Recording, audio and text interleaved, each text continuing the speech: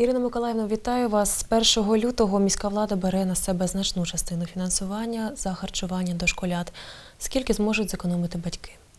Так, дійсно, з 1 е, лютого цього року сплачувати 70% з міського бюджету е, будуть за харчування дітей в дошкільних закладах. На сьогоднішній день це становить близько 220 гривень, і якщо з 1 лютого фінансування буде відбуватися з першого з міського бюджету, то ми е, то батьки будуть сплачувати вже близько 130 гривень на місяць.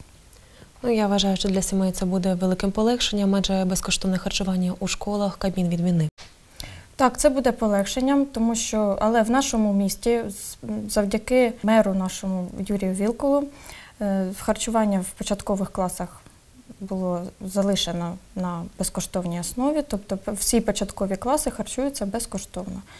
Як гадаєте, як бачите, то якщо буде в закладах дошкільних е, оплачувати менше і ще й початкові класи в нас, то це буде значна економія для бюджету наших е, сімей криворі- криворізьких, які мають дітей, дошкільників і початкові класи. А щодо місць для дітей у садочках, їх у нас вистачає? Так, завдяки програмі, яка проходила в нас протягом п'яти років, в місті Кривому Розі відкрито е, більше ніж 1200 місць в дитячих закладах додаткових. Було відкрито чотири навчальних виховних комплекси і один новий дитячий заклад.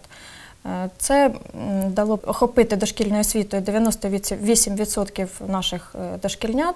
От, і це є реальними діями нашого, е, нашої влади в допомозі батькам по здобуттю дошкільної освіти. Е, Хочу ще наголосити на тому, що е, в усіх закладах дошкільних встановлена була система до очищення питної води для покращення якості приготованих продуктів харчування, які в дошкільному закладі є. Дякую вам, Ірина Миколаївна, за розмову.